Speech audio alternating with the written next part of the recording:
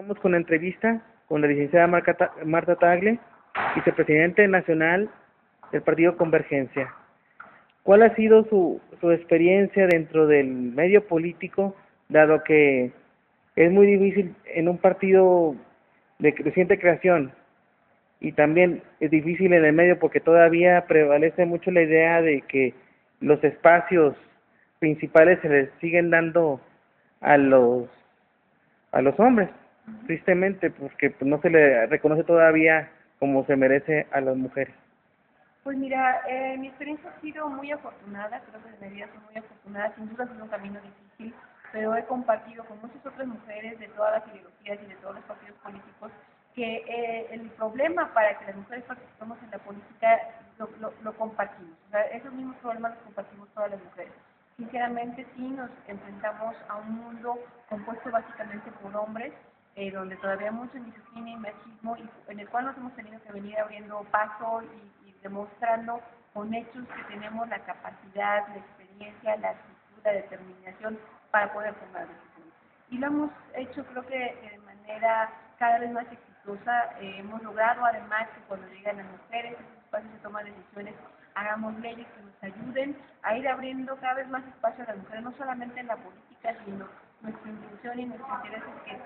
todos los hombres, todas las mujeres estemos en todos los espacios de toma de decisiones, en la política, en la economía, en la sociedad, porque las mujeres son la mitad de la población. Entonces, ha sido un trabajo difícil, pero hemos compartido esta lucha con muchas otras mujeres, hemos venido avanzando, hemos generado leyes. Y lo que nos preocupa mucho ahora y que hay que decirlo aquí en Coahuila es que a pesar de que hay una ley de cuotas donde se habla de que se integrarían el 50% de candidatas mujeres y el 50% de candidatos hombres, no se está cumpliendo. El único partido político que está cumpliendo con esta ley es Convergencia. Tenemos la mitad y la mitad de candidatos porque no solamente queremos decir las cosas en, en, en mero discurso, sino hacerlo una realidad. Y sí es importante que los ciudadanos sepan qué partidos están cumpliendo con lo que ellos mismos aprobaron en el Congreso porque a la hora de la hora eh, privan intereses de los partidos políticos, de los grupos de los partidos políticos y no dejan pasar ni llegar a las mujeres. En Convergencia estamos decididos a apoyar a mujeres valientes, valiosas como Eva Martínez Campos, como cada una de las candidatas que tenemos en Coahuila.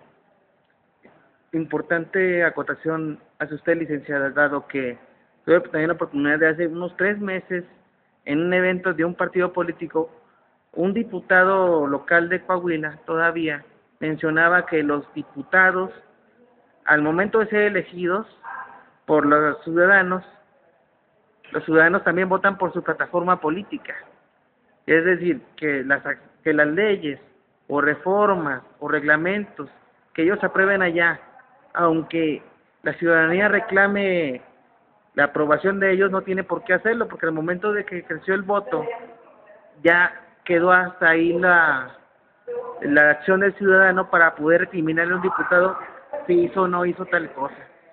Se me hizo sincero, pero también se me hizo algo, permíteme la expresión,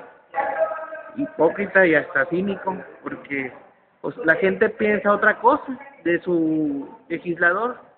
No sé qué opina usted al respecto. Sí, yo creo que con, compartimos totalmente el hartazgo que existe en la ciudadanía porque todos los políticos se han mantenido alejados de la ciudadanía. Cuando necesitan su voto van, prometen, eh, pues, efectivamente hay propuestas de campaña, hay plataformas que no se están cumpliendo. Y eso no puede seguir así.